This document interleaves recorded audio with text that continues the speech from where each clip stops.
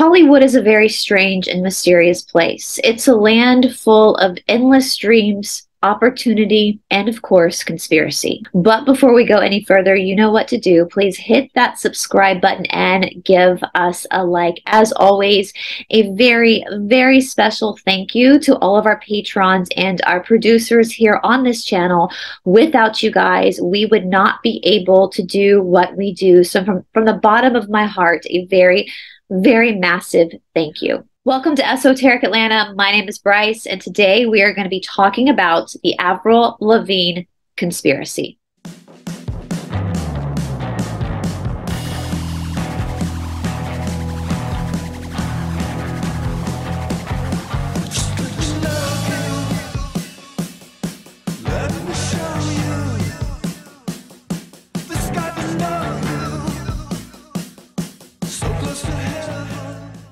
Now, before we get into this story, I just want to make a couple of things very clear on this channel and my perspective of this story.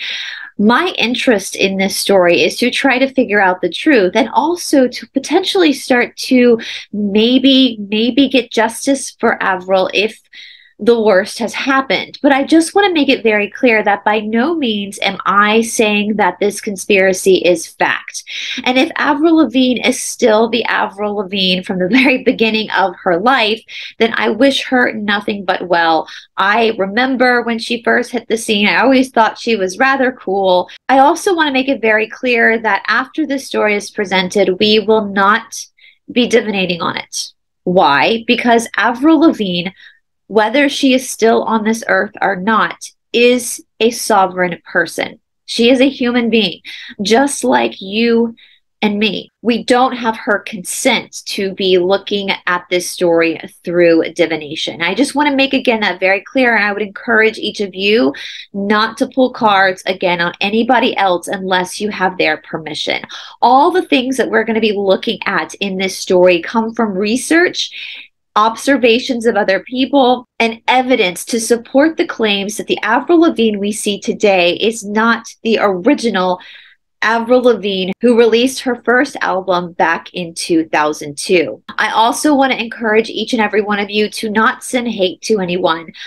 I feel silly having to say this. Um, if like if perchance this conspiracy is correct, I have a lot of empathy and a lot of pain for Avril, and a lot of empathy and a lot of pain for her closest friends and family who are not involved in this deception. If this conspiracy is correct, the person playing Avril Lavigne right now might potentially, in my opinion, be doing so against her own will I don't know. And so I would really, really ask each and every one of you to hold each and every person in the story in your heart with compassion. Do not reach out to them, do not send hate to them, and allow justice to be served through law and order. Now, if you guys are not familiar with this conspiracy, as you probably guessed, the conspiracy is that the person playing Avril Lavigne right now is not the original Avril Lavigne, and that the original Avril Lavigne committed back in 2002 2003 shortly after the release of her first album let's go avril lavigne was born on september 27 1984 in belleville ontario canada the story goes that Lavigne's family knew she had vocal talents by the time she was two years old, and she was heard singing Jesus Loves Me in the car on the way home from church. Lavigne would reportedly spend her childhood performing at county fairs, and as she grew older, she began to write her own songs. Now, apparently, music does run in Avril's family. Her father, a man named Jean Claude Lavigne, was apparently or is apparently, a bass player at a local church called the Third Day Worship Center in Kingston, Ontario. Now, of course, I'm extremely suspicious of churches, and I'm not saying that there's anything to this. It could be that her dad was literally just playing the bass at, at his church. But as I was digging into Lavigne's family, I learned that her paternal grandfather was also in the Royal Canadian Air Force. So, in in my suspicious mind, these are two controller businesses that her family happens to be in. And if the conspiracy wasn't what it is, which we'll get into, the details of this conspiracy, I probably would just kind of ignore the fact, like, no big deal. Granddad is just part of the Air Force. Dad just likes to play bass, reckons he's a rock star, playing at his church, no big deal. But because of the conspiracies and because of the way that Lavigne took her own life, I have some suspicions. The story goes on that in 1999, Lavigne won a radio contest. Remember those radio contests they used to do back in the day? Maybe they still do them. I don't know. Don't really listen to the radio anymore, except like never in my car for that long of a period now. But um, yeah, they used to do like radio contests back in the day. And the prize was to perform with another Canadian singer named Shania Twain. Now, country music and Avril Lavigne don't really seem to go together, but through my research, it seems that that was kind of how Lavigne started. She started singing covers of country songs. Whenever I think of, I'm, I'm not a country music fan. Being down here in the South, I just really can't stand country music. But I, it seems there's actually a lot of country music fans from Canada, which I find rather comical because I think of Canada as just like a snowy, tundra of just cold, like cold and cold. I, I, guess being so far south, I just don't ever think of there being hot days out in the pastures in Canada where you're sweating and working the field. I guess that's why I always just think country music is a southern thing, but apparently it's a pretty big thing in Canada as well. If you're from Canada and you have you are a country music fan, let me know. So after Lavigne performed with Shania Twain, things would start to pick up for her. It was in December of that same year, in 1999, that she would be discovered by her first professional manager at a bookstore called Chapters Bookstore in Kingston, Ontario. I guess she was performing in a bookstore. I, I don't know. I mean, if you're a younger person watching this, yes, back in the day, they used to go and like perform in like malls and stuff like that, you know, a mall thing of ancient times. But, you know, the singer Tiffany, for example, was was famous or her label, her people would send her around to different malls in America to perform in the mall. If you're um a part of Apple TV, there's a great show called Physical that kind of documents the rise of aerobics videos. And they have the main character in a mall teaching aerobics class. And so when I saw this whole performance thing in Chapters Bookstore, it kind of reminded me of that time. And I guess the late 90s, we were kind of leaving that generation of, of sending your kids out to these local places to perform to get them noticed. I mean, this was before YouTube. This is before the the the world went super World Wide Web, you know? So, I mean, I was 16 in 1999. I've laughed and I've said this before. When I was in high school, we had to use the freaking Dewey Decimal System. We, the internet had started to come around, but we weren't allowed to use it because you couldn't trust it. And so we had to use a literal card catalog and go to the, the library and look shit up for our papers and books. It was like a damn, like, scavenger hunt for information. And i probably can still work a card catalog if i need to. And even when i went to college uh, it was still especially the first few years of college we still were not allowed to use the internet for research. I mean we could use it but we had to back it up with a book because still at that point the internet was sketchy. Like people weren't super sure if the facts information was right. I mean, we now know that there are hello fact checkers, like we get that now. But um, but so for those young people watching, to, to make a long story short, to circle back, performing at like a bookstore kind of was what people did back in this time and it worked because again this is how she got her first professional manager and maybe because she had just performed with Shania Twain she had a bit of like power to market herself as hey you know the kid from small town Canada who got to perform with the big Canadian uh, country singer Shania Twain is going to be here at our local bookstore performing. And so these people who thought, you know what, kid needs a manager, I can make money off of her, showed up and scouted her.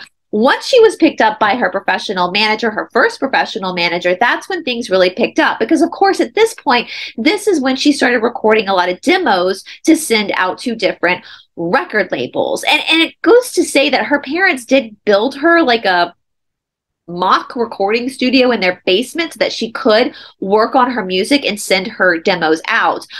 I have told you guys before that I lived in Los Angeles for about six years after college. And my boyfriend at the time was in the music industry. Now, my boyfriend at the time was 15 years older than me. I don't know what to say. I have a thing for older men, always have, always will. That's very normal for me to date someone 10 to 15 years older for a long time, very long relationship. But because he was 15 years older than me, he was working LA back when I was still a kid, and he would tell me all the time about having to record little cassette tapes and mail them out to different record labels to get noticed. Now, again, they could still do things like this to this day, but I'm sure it's a little bit different with the internet. I'm sure they can just, you know, put a, a, a kid up on YouTube. Like, I think that's what happened to Justin Bieber. So they say is he just started performing on YouTube, and then that's where talent scouts will find people. But as far as the story of Avril performing in a bookstore, all that kind of stuff. Very normal for the time. Mark Jowett, I'm not sure if I'm saying his name correctly, but that's how it's pronounced in my head, Mark Jowett, who was the co founder of a Canadian management firm called Nettwerk, sent Avril Lavigne to New York City in the summer of 2000. She was there to basically work and workshop with a producer called Peter Zizzo. Now, again, hope I'm saying his name right all these crazy names. Now, remember, she was born in 1984, so she's a year younger than me. So in 2000, she would have been 16 years old. So a 16 year old girl from small town Canada is now in the big city of New York workshopping with a bigwig in the music com- in the music industry. This is when she was noticed and picked up by her record label, who produced her again her first debut album called Let's Go in 2002. In 2002, Avril Lavigne was an 18 year old girl. And some of these conspiracies do have to do with the fact that the way she looked in 2002 with the release of her first album has drastically changed over the years. Now, I say drastically changed, and we're going to talk about some of the little bit more um, suspicious changes, but I also just to, to kind of keep the story grounded and logical, I, I do want to say, like, you change a lot from 18 to in your 30s like i i'm sure that if you saw a picture of me at 18 it would probably look like me but not the me you see now. I mean hell i'm almost 40 years old. Of course things are going to change. Some 18 year old kids still carry a little bit of puppy fat while some are super skinny. Avril lavigne was very skinny at 18 girl i feel you i've i've always kind of been skinny. So I, I feel you on that. And I just want to note that if you look at her, it, not in a creepy way, but it, she still looked like a kid, right? Her body still was was very childlike in a way. And now that she's in her 30s, of course, there's going to be some physical changes that we see. We're gonna see her fill out more. I mean, look at Christina Aguilera. When Christina Aguilera first came, on the set. I don't want to say on the scene because she was on the Disney Channel, but when she first released her album, she was super skinny. And now she's more womanly because she got older, she grew up. We also know that, you know, bone structure does change slightly. Usually by the time a, a, a person is in their early 20s, their bone structure might be like totally completely uh, set, but but not for everyone. I mean, I mean, we do know that they have up to the age of adolescence to 23. And so if we look at it that way, some people aren't finished growing, really growing until like 23, 24 years old, especially if they are late bloomers. We also know that people's style does change. There are many kids who go through like punk rock phases and tomboy phases only to become more feminine when they get into their 20s. And that very well could have been what happened to Avril Lavigne. When we first saw Avril Lavigne come on the scene at 18 years old with her album Let's Go, she definitely came across as a punk rock tomboy. A very feminine tomboy, but a tomboy nonetheless. In fact, one of the, the, the, the, things people noticed is that when she first came on the scene, she liked to wear her hair very straight and parted down the middle. Whereas later on, she started to wear her hair parted down the side and more wavy. Well, let me tell you something about the year 1999 2000 for those who are super young. Back in that time, that was the style was to straighten your hair. Now, granted, I do still straighten my hair every morning, but I straighten my hair because one side of my hair will wave and the other side won't. And so I just try to make it look a little even. But back in like the late 90s, early 2000s, it was the style to literally have your hair paper straight. Like paper straight. My mom used to tell me that back in the 70s, before straighters were invented, they would actually iron their hair like put their hair on an iron and iron it. Because in the 70s this was also the style was super straight hair. So we see these styles move. So it could be that avril had her hair straight because that was the style back in that time. And she also was kind of tomboyish but as she grew into a woman in her 20s her style started to change. Because after the marker of the conspiracy started which we'll get to avril lavigne started to wear more dresses. Now listen, I prefer I, I am very girly. Like I'm a very feminine girl. I like I like doing girly things, but I'm also a tough chick. Like I'm also very athletic. I'm also very strong. I'm not afraid to go and get dirty and I too will wear a lot of dresses. But the way reason why I wear dresses most of the time, especially in the damn summertime, is because it's hot as hell. I mean, you're sweating, you're sweating more than a horrid church down here. You know, it's it's hot. And so wearing dresses for me in the summertime isn't so much about an expression of femininity as it is a practical tool to keep cool. So it could also be that this kid from Canada, where it's cold, now living in Los Angeles where it's hot, changed her style for necessity. I don't know. You know, I, I just want to say some of these things people notice aren't necessarily telltale signs that Avril Lavigne is not the original Avril Lavigne. But in saying that, in my opinion, some of the other signs are very significant. So this conspiracy actually started back in 2005. Now, her second album was released in 2004, and it was the shift between the 2002 album and the 2004 album that people started to scratch their heads and go, this is not the same chick. So back in 2005, which I was living in Los Angeles in 2005, and I don't remember this, but there were whisperings that something was going on with Avril Lavigne.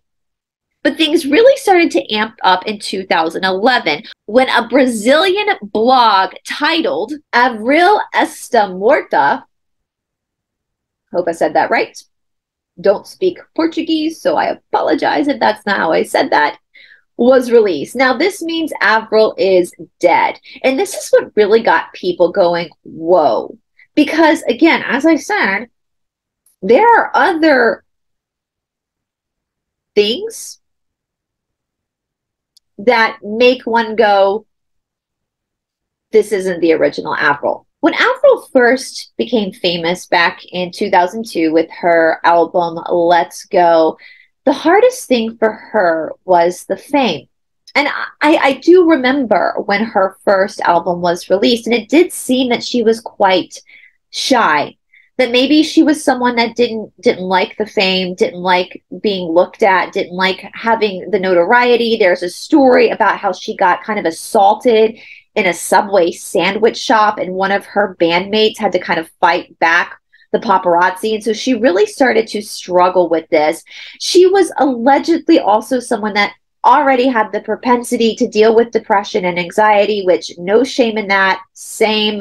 I think a lot of us have that. And so being a young child, really a child at 18, and all of a sudden, especially from a small town, all of a sudden, sudden having your world turned upside down and now everybody knows your name and people are like hounding you while you're getting your freaking sub at Subway Sandwich had to have been very overwhelming, could have been very overwhelming for many people. And so she really struggled with this. Like this was really, really hard for her. And so there's two different stories about what happened with her body double, Melissa. One story goes that her record label found Melissa to be her body double. Another story goes that Avril is the one who befriended a girl named Melissa I noticed that her and Melissa had a lot of similar characteristics in the way that they looked, and therefore Avril could put her on payroll and have her stand in as Avril's body double. It even goes that Avril kind of taught her how to sing a little bit so that if Avril was having a panic attack or couldn't go to an event or didn't want to go to an event, that Melissa could just step in for her. It is said that Melissa was happy in the spotlight and loved doing the job. And so over time, Melissa started to do things like red carpet events, uh, promotional events, and yes, of course, even perform for Avril if Avril was not ready or willing or wanted to perform. Now, a lot of people will say that Melissa was actually a clone of Avril's, and I understand why they're saying that, and I'm not saying that that's not entirely true, but I, I don't actually believe Melissa is a clone. Um, I think she literally is a body double. And this is very common in Hollywood. This is not something, there are a lot of people, I mean, I know from living in Hollywood, there are a lot of people that hire body doubles so that they can live a more peaceful life or throw off the paparazzi if they need to. This is super, super, super common. And we think about celebrities like you know, rock stars like Avril Lavigne or Britney Spears. Yes, we know what they look like, but seeing a celebrity in person versus a photograph or a video is often very, very different. You know, you'll hear people meet people in real life and be like, wow, they're a lot shorter than I thought they were, or, or wow, they were a lot thinner than I thought they were, or fatter than I thought they were, or, you know, the, the, people always say, okay, you have this idea in your head of what the celebrity looks like, and then when you see them in person, sometimes what the camera is portraying is not necessarily what they totally look like. You got, you know what I'm saying? And so this idea of body doubles is big because a person can look kind of like the celebrity and still get away with it because when a person sees the body double as the celebrity, they've never seen the celebrity before anyway in real life. And so a lot of that stuff can be just brushed off, like the fact that Melissa was an inch taller than Avril. Now, this was something that got me too. Because if Melissa had been a clone of Avril, some of their physical characteristics would be more identical. Yeah. But the fact that Melissa is like an inch taller, I know an inch doesn't seem like that much, but in height, an inch is quite noticeable. I mean, for women out there, like if you wear like three inch heels, it drastically changes your your height, right? And it ja- drastically changes the way you move. And so for one inch alone, like yeah, that's that's quite a difference. We also see that Melissa's personality is a lot more bubbly. Like I said, Avril Lavigne, when she first came on the scene, was very much like that punk rock tomboy. And now we have a very extrovert Avril. And then we have some of the big kickers. The height thing is kind of a big one, but it gets even more um, noticeable with things like mole placement and freckle placement. Now, yeah, you can have moles removed, of course, but like I have some moles and freckles that I've had my whole life. They don't really change. And there's been people who have gone and looked at pictures of Avril from 1999 and the Avril that we see now, and they see notable differences on the body of different freckles and different moles. Now, other things like other facial structures can be explained away through things like plastic surgery. And even though Avril Lavigne was and is a beautiful woman. I don't fault anybody who gets plastic surgery. I, I, don't, you know, whatever makes you happy, you do, you do you boo. So some of that other stuff like the eyebrow line, that that could be possibly maybe shifted through a rhinoplasty, a nose job, anything like that. We also look at the way makeup can contour someone's face to look a little bit different. I mean, there's a whole tutorials out there on YouTube where you can take a white girl like me and you do the right makeup and you can make me look like Beyonce with makeup. And so we kind of have to take that stuff with the face with a grain of salt, especially again, as I said, from 19 years old to a woman in her 30s now, there could have been some facial structure movement if she herself was not done growing at 18 years old. But some of the biggest indicators that this is not the same person are First of all, the handwriting, and second of all, the vocals. The handwriting completely changed from Avril's 2002 album to her 2004 album. Yet, yes, I know as we grow, our handwriting does change, but for two years, there should be some similarities in the way she writes her name, the way she dots her I, the way she crosses her T's, and those changed. We also, again, hear it with the vocals. I'm going to place a video down in the description box below from a bigger creator named Sloan, where he breaks down a deeper look into Avril's vocals. He actually plays some stuff overlapping each other, and you can definitely tell that there is a different vocal range between the two different vocals you hear on the screen. Now, with that being said, yes, vocals can change. I understand that. That happened with Britney Spears. Britney Spears, as a child, if you ever listened to her sing as a child, she had a freaking powerhouse voice. And then things happen, you know, drug abuse. I'm not saying that that's the case, but, you know, it's just an example of something that can change your vocal range. So, in my opinion, things like handwriting, vocal range changing, and height make me scratch my head and go, yeah, this might be a different person. Now you might be thinking, but we haven't actually talked about what, what supposedly happened to the real Avril, and I've kind of saved this for the end.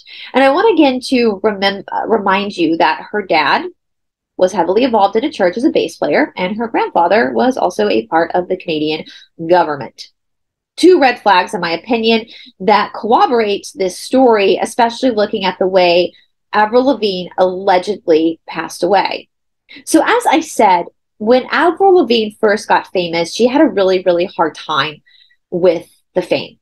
She went through major depression, major anxiety. Um, I I can only imagine. I mean, just having a YouTube platform, sometimes it gets overwhelming. I can't I can't imagine. I can only imagine, but I also can't imagine at the same time what that must feel like for the whole world to know who you are. I mean, her first album released in 2002 quickly hit number two in the United States Billboard Top 200 and hit number one in Canada, the United Kingdom, and Australia. That's a lot. I mean, just think about that for a minute. You go from this kid who writes your own music, who loves music, and you're given these opportunities to do this for a living.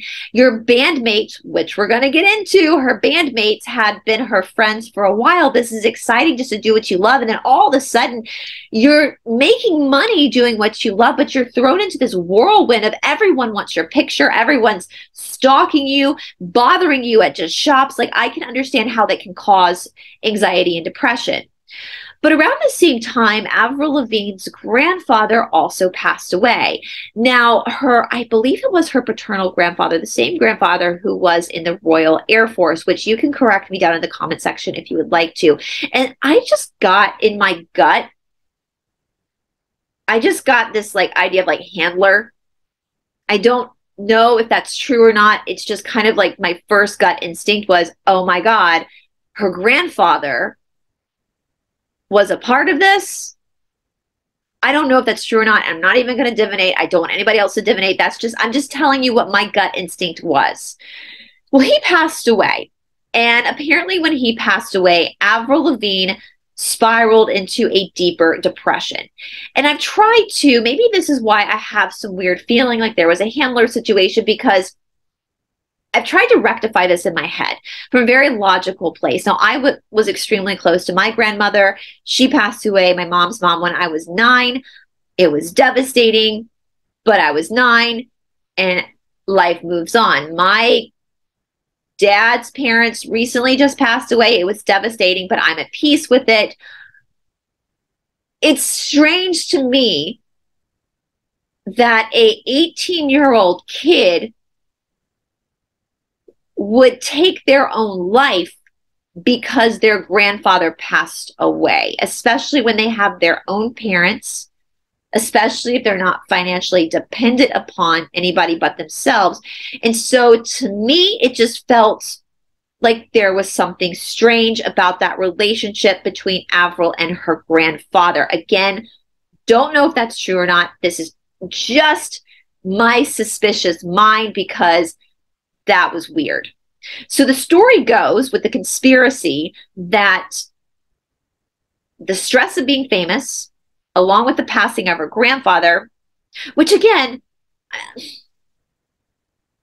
if you're an 18 year old kid, you know your grandparents are going to die one day, right? Like, you know, your parents are going to die one day. There's like a circle of life that's happening. So, as sad as that is, and as, as hard as that is for people to process the loss of someone they love, I just don't, I don't, I can't, I can't in my head, I can't make that the reason why she decided to off herself. Like, I just can't, that doesn't make sense to me. It doesn't make sense to me. I mean, let me know in the comment section if you're someone that felt like you were potentially because of a grandparent passing. I just there's just something strange there. I don't I don't care. I don't know. I don't there's just something very weird about that. And he worked for the government. So I don't know. Anyway. So they say that after the stress of her album, the passing of her grandfather, that Avril Lavigne just could not handle it anymore. And so she, drum roll please. That's right.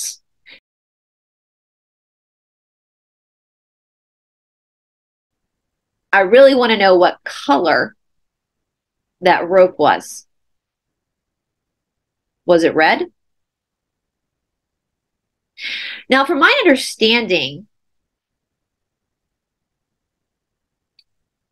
when it comes to the removal of one's own life, that is one of the hardest ways to do it. They say that the body will immediately fight back for oxygen as survival. Like it's it's things will break. You know, we see that with celebrities like Robin Williams on the doorknob. Like there that's not possible. Like the body would have reacted. That's like the hardest way to remove yourself from this world. So we know that that's a huge signal from the club, from the controllers, is to do that to people and label it as. Now, the story goes that after Avril Lavigne passed, her record label was making so much money off of her that they decided just to turn Melissa, her body double, into her. Now, Sloan makes a really good point in his video down below, and I'd like to know your opinions on this because, again, I don't believe that Melissa is a clone. If Melissa is a separate person from Avril Lavigne, then I believe she was a body double um, for many reasons. Again, some of the the the, the physicalities that are different would scream body double, not clone. And secondly, again, body doubles are super common in Hollywood. Like people make a lot of money being body doubles, right? So it's, you know, you get to go have fun, go do things, and then you give a paycheck for it, right? But this is what Sloan brought up, and I also agree with. Is there a, in my opinion, and Sloan didn't talk about this aspect of it, but is there a level of like mind control with Melissa? Because like I think about myself. All of a sudden I I was somebody's, let's just say, like let's say I was somebody's body double, and um I was making a living just being this person's body double. But but when I wasn't going to events every now and again to pretend to be this person, I was living my life as Brice. I got friends as Brice. I have friends. I have family. I have all these people in my life that know me as Brice, and this is just some job I do to make a buck, right? And then the person that I'm doubling for dies, and their record label or agents say, hey, guess what, Brice? Now you're going to be, you know, Sally forever. Now you have to just be Sally. I couldn't do that unless I was being mind controlled, maybe threatened. I don't know you know that's where that's where it's a little weird. Like how would this girl just give up her life like that? It's almost like there were two deaths the one of the real avril and the one of the melissa. Now this is where it gets a little strange too because i told you that this switch happened allegedly if it's true if there really was a switch it happened between the release of her first album and her second album Avril's second album is called Under My Skin. Now, it goes, the conspiracy goes, that Avril had already started working on the music for the second album, but it had not been completed when she passed away. So Melissa had to step in and finish the work. And people say that maybe by labeling the album Under My Skin, she was basically talking and telling you, telling everyone subliminally that she was Melissa, but Avril was under her skin. She was playing Avril. Now, there are a couple of songs that people point to called Slipped Away and Nobody's Home. Now, again, if you watch the video in my description box from Sloan's breakdown, not only does he go through the differences and the contrast in their vocals, but he also breaks down the music video. And it's very, very interesting. Now, I don't have the type of equipment that Sloan has. I don't know how to do all that fancy stuff. So I'm just going to again tag that video down below. So I would really be interested if you watch his video and his dive into this to tell me what you think. Was Melissa or the controllers rather, since the controllers do have to tell you the truth in some capacity, were they telling you subliminally through this album that Avril is no longer here and Melissa is now Avril? Speaking of that, there is a photograph from the second album, a press photograph, where Avril is standing with her fist up and she has the name Melissa written in marker on her hand. Why would Avril Lavigne do that?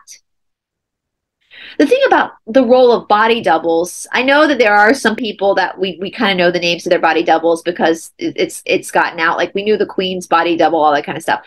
But a lot of celebrities, you don't know who their body doubles are, what their real names are, because that's kind of the point, right? The point is that these are people who resemble the celebrity enough they slumber, they resemble the celebrity enough where they can stand in for the celebrity if need be, and no one will question it. And so, if we were to go around telling everybody, um, who are not we, because I don't, I don't have a body double. So, if the celebrities were to go around and tell people who the names of their body doubles, wouldn't that kind of um, blow the cover? The mystery of is that the body double or is it i don't know. I don't know. I just think that'd be strange that you would ever allow the body double's name to get out there. I think that would be part of the nda right? Because i'm sure body doubles have to, to sign an nda they're not going to reveal that this is what they do like for a part-time gig. I mean again it sounds like a great gig. You just kind of get like maybe get a check for a couple of grand to go stand on a red carpet and smile and then go home and resume your life. I, I don't know. And so that picture with the name melissa on the fist is is pretty telling too but as we end this video, I'm going to end this video with the most compelling, most heartbreaking evidence that there is. I told you I was going to refer to Avril's bandmates. There was a guy named Evan. This breaks my heart. That was in Avril's band. Evan and Avril were like best friends. They were super, super, super close.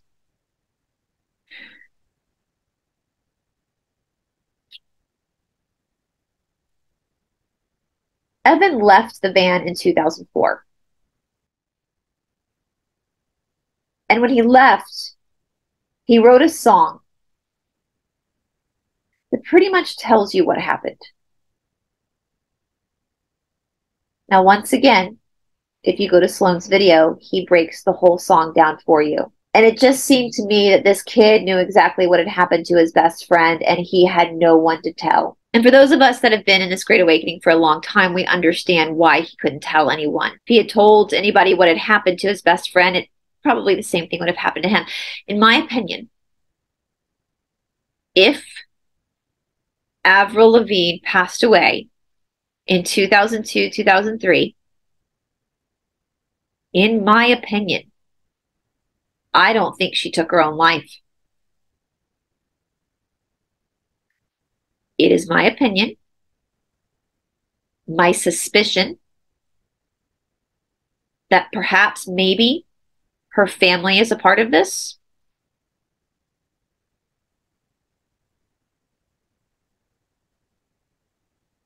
And maybe she was taken out. But yet money is still being made off of her name. Again, this is all my opinion. This is all alleged for entertainment purposes only. I don't.